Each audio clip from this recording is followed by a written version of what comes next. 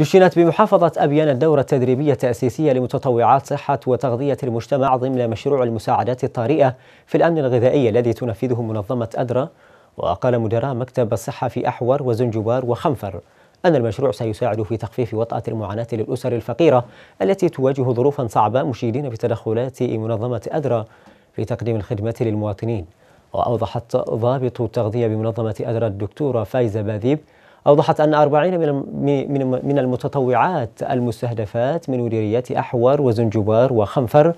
سيتلقين معلومات حول الرضاعة الطبيعية والغذاء المتوازن والتغذية التكميلية وكيفية إعداد وجبات تكميلية بحسب المراحل العمرية.